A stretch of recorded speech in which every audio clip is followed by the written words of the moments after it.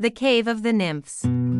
The Cave of the Nymphs, or Stunning Melissani Cave, is one of the famous sites on the island of Kefalonia, northwest of Sami in Greece. Surprisingly, there is a hidden lake inside the cave. The cave is about 160 meters long and 40 meters wide. It is an amazing place with mysterious surroundings. When glittering sun rays light the cave, you can see a stunning reflection of the lake.